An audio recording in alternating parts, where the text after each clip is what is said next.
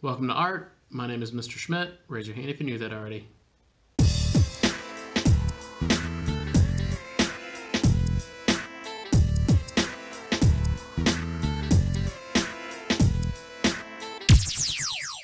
Welcome back, ladies and gentlemen. I hope you're having a great day. We're here to do some art. We're going to play a classic in Mr. Schmidt's art room. It's called Three Sticks. Three Sticks. It's a classic in Mr. Schmidt's art room. That means uh, we've played it for years. This has been it's a game that's kind of been around for a really long time. I've got my cup of sticks here. The point of three sticks is to draw what you see on the sticks that you get. When we play three sticks, you're going to get three sticks from the cup. And your job is to take those three things and combine them together into one picture. And that doesn't just mean that you're going to draw one thing on one side of your paper and something else on the other side. And then down here in the corner, you're going to draw that third thing. Your job is to take those three things and combine them in a new and interesting way.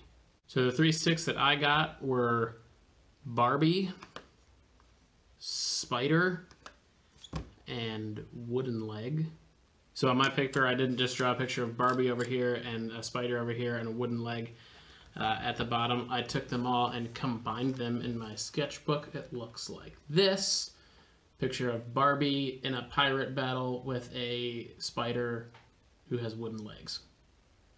So your goal with this artwork, by the end of it, you should probably have an artwork that has never been drawn before with all sorts of different things going on, uh, just totally at random. So you can play this at home on your own. If you have a family member, maybe say three random things off the top of their head. Uh, if you just want to come up with three random things off the top of your head, the first three things that pop in your mind, uh, write them down and then make your artwork that way. As you're watching this video, I can give you three sticks right now from my bin and we're going to do it like this. So you're going to hold up a number, one, two, three, four, or five, and I'm going to pull out five sets of three sticks for you uh, depending on what number you chose. So if you pick a number four, for example, the fourth set of three sticks that I pull out here is going to be the four that you're going to use on your artwork. And by the way, it's totally fine for you to add something else that you hear, uh, whether it's in your own brain or if it's something that I, another stick that I pull out. if you want to add something else to your artwork besides the three things that you have on your sticks, that's wonderful. Just make sure that you've got the three sticks that you get uh, so pick your number, one, two, three, four, or five. I'll hold it up. Remember it.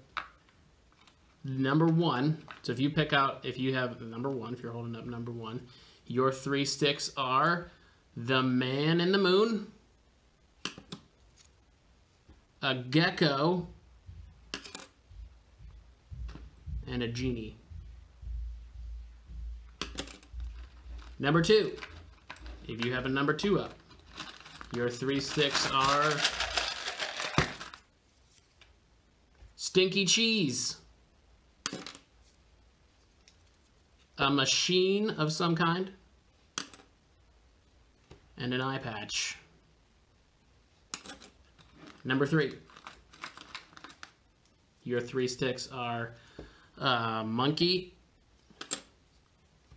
a werewolf, and a voodoo doll.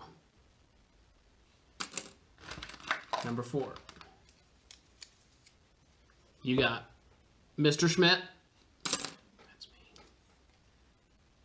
An ice dragon. And a hot tub.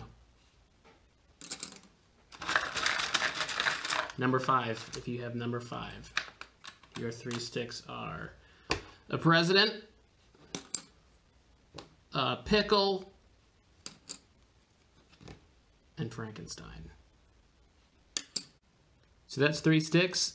Have fun, stay safe, and share with me what you do when you're done. I'll see you again soon.